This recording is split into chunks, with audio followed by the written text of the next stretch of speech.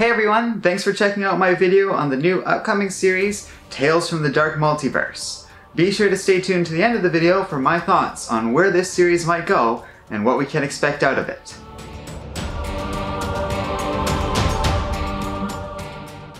So before we get into this video, I do ask if you like Comic Island to subscribe to our channel and check out our page in the video description below. Now, yesterday, DC had a very interesting press release about Scott Snyder's new big Batman project. It's a pretty fun follow-up to his event Dark Nights Metal, where we were introduced to a dark multiverse filled with worlds that basically were formed a long time ago but weren't quite complete and sort of fell away, falling apart and ultimately not becoming a proper universe.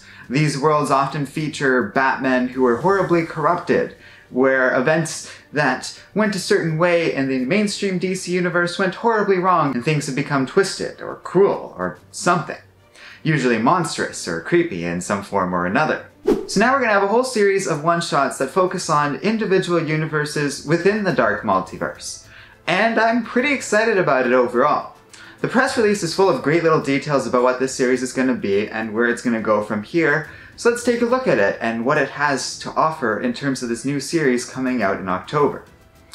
So first up, right out of the gate, we know that the first story that's going to be introduced is Batman Knightfall. A take on the original story where Batman's back is broken, only things go even worse in this alternate one. So basically DC is going to be revisiting a lot of their best of former stories, and doing whole different dark alternate takes of them, using the advantages of the dark multiverse to sort of let loose and show us something really creepy and weird compared to what we expect out of the normal versions of these stories.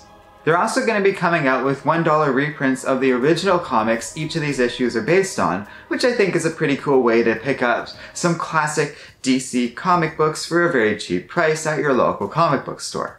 The rest of the press release promises some pretty interesting stuff, so I'm going to read through it pretty quick. DC announced plans today to put a twisted and terrifying spin on some of the biggest, most game-changing events in its publishing history with a series of prestige format one-shots called Tales from the Dark Multiverse. Beginning in October, DC's most talented artists and writers will take on fan-favorite events from the DC multiverse down a dark and twisted path. Co-written by Scott Snyder, Dark Nights Metal, Justice League, The Batman Who Laughs, and Kyle Higgins, Deathstroke, Batman Eternal, Nightwing, The New Order, with art by Javier Fernandez, Justice League, and a cover by Lee Weeks, Batman. The first one-shot takes place in Gotham City 30 years after a broken Bruce Wayne failed to take back the mantle of the Bat. In his place arose Jean-Paul Valley, also known as Saint Batman. Under his rule, Saint Batman has turned Gotham into a city of his dreams. Killing has become commonplace, and criminals live in constant fear, all in the name of justice. But when all seems lost, a new hope for Gotham rises, the Son of Bane. Another issue seems equally promising, featuring the death of Superman. The Dark Multiverse takes on the highest selling comic book event of all time, courtesy of writer Jeff Loveness, Rick and Morty, DC's Nuclear Winter Special, DC's Mysteries of Love in Space, with art by Brad Walker, Detective Comics, and Andrew Hennessy, Sinestro, The Demon, Hell Is Earth, Titans, with a cover by Lee Weeks. In a broken world much like her own, Lois Lane, twisted by rage and grief over the Man of Steel's death, becomes the Eradicator, taking revenge on those who let Superman die, and the corrupt world he could never defeat. Now, with the power of a god, she's gonna end the never-ending battle by any means necessary, halting the reign of Superman before it even begins.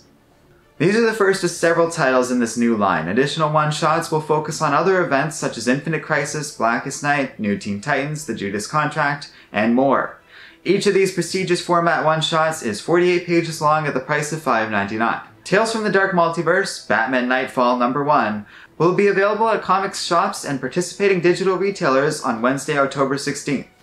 Tales from the Dark Multiverse, The Death of Superman number 1 arrives at comic shops and digital retailers two weeks later, Wednesday, October 30th. Time to the release of each Tales from the Dark Multiverse title, fans can also purchase a $1 reprint of the original comic each story is based on. Batman number 497, October 16th, and Superman number 75, October 30th. So there you have it. That's the press release and what we've gotten so far out of the series. I gotta say there's a lot of information in there and it's a pretty promising series overall. I don't think it's gonna last forever. I think it can be best viewed as a sort of a mini series that's gonna last about as long as it lasts.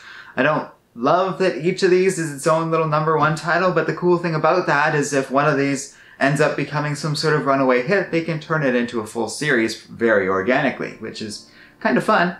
There's probably some good ideas being floated around here. So far, what we've seen is a lot of pretty standard what ifs type content.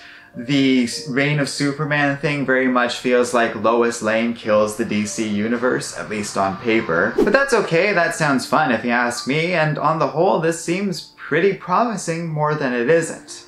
I like the idea of it, and I really like the Dark Multiverse. If you want to learn more about that, we'll post something in the video description where you can check out Dark Nights Metal for yourself. Also, if you'd like to learn more about the original Death of Superman story arc, we have covered it to a degree on our channel. You can check out that video uh, right over here in this little white exclamation mark button thing we've made. And that's about it. Thanks a lot for watching, and let me know what you think of all this in the video description below. I don't know whether or not we're going to be checking those issues out. October is a long ways away, and it's hard to predict these things, but it does look cool, and I probably won't be reading these comics at some point on my own, regardless of whether or not we end up covering them. If you want us to cover them, then by all means let me know in the video description and leave a comment about what you think of this series or whether or not you think it's worth our time. Thanks for watching, and don't forget to like, subscribe, and keep reading comics.